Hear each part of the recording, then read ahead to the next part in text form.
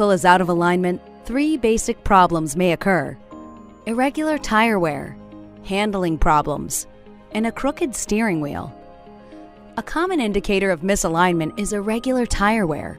The wear begins on the shoulder of the tire or tires and continues until corrected, which may lead to a significantly shortened tire life. Another indication of misalignment is a pull to one side or the other, requiring constant correction to maintain a straight path. Additionally, a crooked steering wheel indicates your vehicle needs an alignment, especially if your vehicle has driver assist systems, which typically rely on data from the steering angle sensor to function properly. So if you see a shift in the position of your steering wheel, irregular tire wear, or if your car is pulling to one side or the other, get an alignment check as soon as possible.